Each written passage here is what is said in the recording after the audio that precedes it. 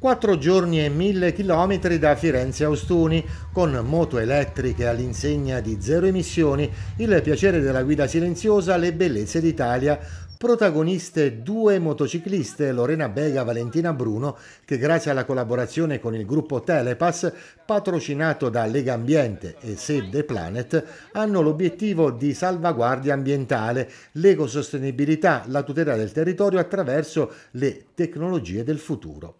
Le tappe hanno portato le due motocicliste a Firenze, Bologna e poi all'ospedale delle tartarughe marine di Riccione e poi ancora lungo la Via Verde verde Costa dei Trabocchi fino ai progetti di mobilità alternativa della provincia di Bari.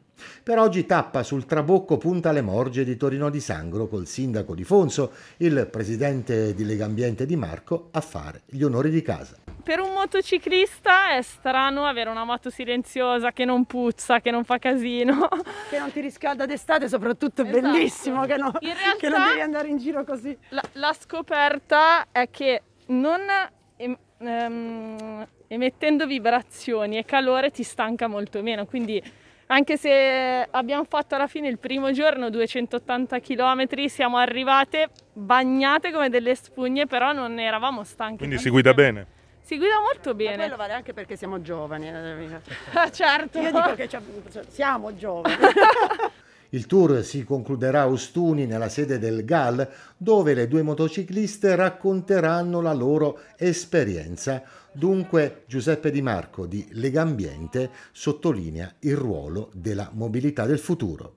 Oggi accogliamo qui in Abruzzo a Punta Le Morge un tour unico nel suo genere, forse il primo, e due donne con due moto importanti, completamente elettriche, quindi compiono un viaggio di mille chilometri a emissioni zero. Questo per dire che ormai l'innovazione elettrica è già realtà, non parliamo di futuro ma di un qualcosa che già esiste che ci permette tranquillamente di muoverci all'interno del nostro territorio.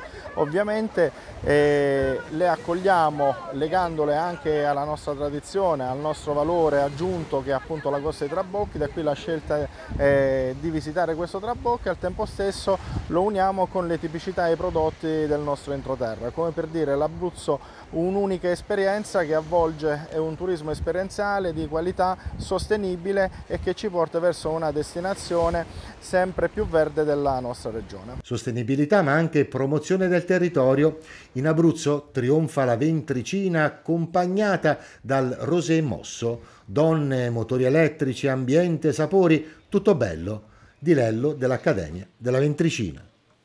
Il turismo esperienziale, il turismo green che oggi va di moda e che si vuole proporre con questa manifestazione, l'abbiamo legato a, alla manifestazione di Ventricine e Bollicine nelle tre tappe che si è realizzato Cerni, Pollutri e qui sul Trabocco appunto a Torino di Sangro.